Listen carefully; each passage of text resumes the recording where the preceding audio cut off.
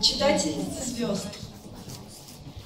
Под небом непрекаянной свободы Песок, глотая алчущими ртами, Тяжелые и выпуклые воды Колышутся бессонно над мостами.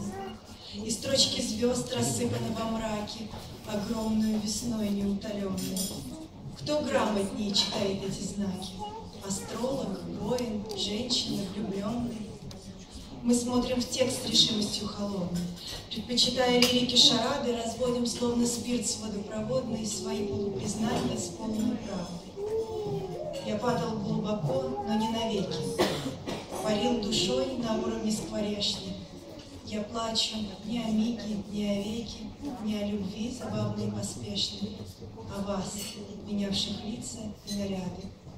Храни вас Бог, плативший ценою до подлинной, за ласки, шутки, взгляды, делившие безумие со мной.